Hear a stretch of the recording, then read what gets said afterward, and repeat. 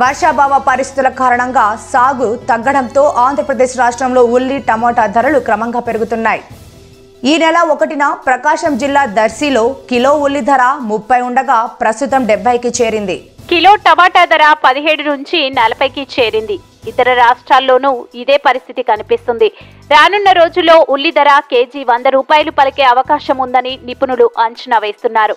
ధరల నియంత్రణకు ప్రభుత్వాలు చర్యలు తీసుకోవాలని ప్రజలు కోరుతున్నారు.